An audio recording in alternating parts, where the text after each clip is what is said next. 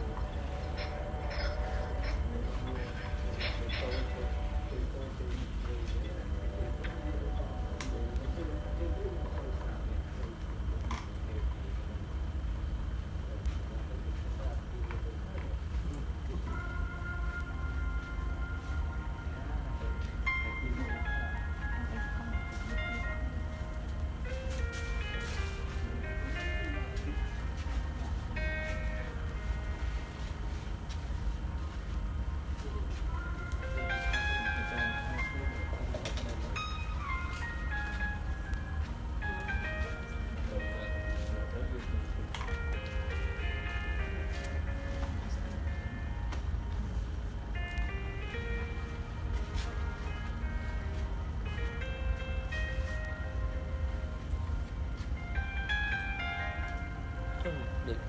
Berubah yang berubah yang telah